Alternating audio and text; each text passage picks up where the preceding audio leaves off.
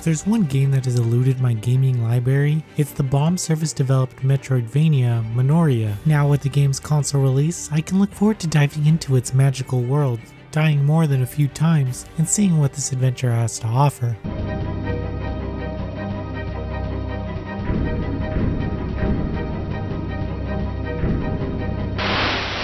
Minoria puts players in the middle of a war between the Sacred Office and witches. Players are introduced to sisters Semilla and Fran as they do their best to put a stop to the witches and any who stand against the church. As the narrative progresses, you learn more about the witches as well as the religious group that they fight for. The story segments are kept short to keep the pacing of the adventure up, but there were more than a few holes that I had to fill in for myself. For the most part, this just had to do with the high fantasy dialogue the developers chose to tell the story through, which causes some moments of it to come across a little heavy. Regardless, Elements of the adventure reach some really impressive moments of narrative storytelling that keeps you engaged to the very end, if only to see where these two characters end up. During gameplay, players will take in some Metroidvania style environmental exploration paired with some light platforming. The Metroidvania layout is decent here for this easily digestible experience, but I wouldn't expect anything too intricate. The structure of it is all kept exceptionally easy to navigate and almost linear as it leads you to where you need to go and doesn't allow you to go off track too much. There are secret areas full of items that will help your quest, but there's no real sense of urgency where you feel like you have to uncover each portion of the map. This is only because some of the items items found just aren't that useful. On the other hand, the secret rooms do have some creative platforming sections to navigate through. While the jumping systems in the game can be a bit floaty for precision platforming, these small detours offer a nice break from the action encountered in the rest of the game. Semilla has a host of attacks at her disposal, but they come with a limited number of uses making you strategically plan on when and where to use them. Save points do recover health and MP, but between those areas, battles are a test of skill and patience. The battle system is relatively relatively fast, as players will mostly rely on normal attacks against grunt enemies. However, if that enemy doesn't die in the first few strikes, then you'll probably need to dodge or parry to not take damage. Dodge works exceptionally well, but parrying is a bit tougher because you have to stand still in order to use it. If you're moving, you'll just dodge out of the way.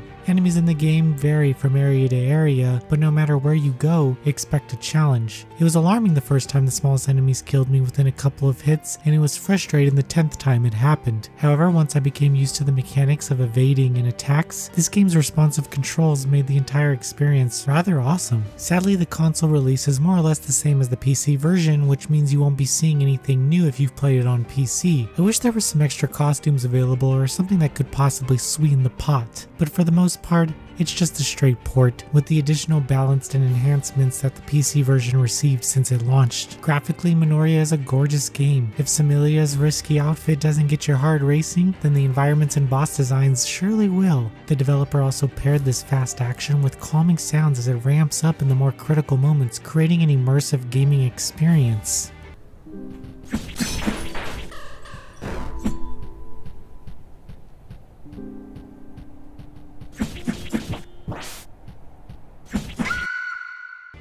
Minoria brings an excellent action game to consoles. It plays it safe with its Metroidvania design, but it excels when it comes to immersive world building and environmental layout. If that wasn't enough, the always evolving battle system will keep you engaged from beginning to end. Noisy Pixel is giving Minoria on consoles an 8.5 out of 10. Thank you for watching. Please read the full review at noisypixel.net. NoisyPixel is run by a group of gamers who work hard to deliver news, reviews, previews, and more. Please subscribe to keep up with all our future content.